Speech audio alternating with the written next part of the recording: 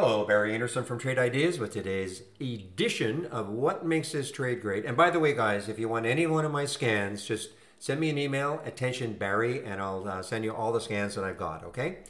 So BZH, guys, is an is a AI play. 3238 was the alert, and it's moved very nicely, about a dollar sixty so far. What's interesting to me, this is a home builder, and this is an all-time high.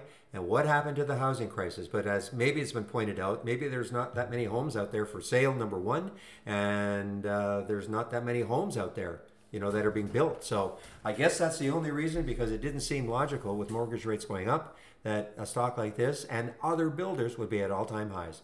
Anyway, guys, that's it for me this weekend. Have a great weekend and we'll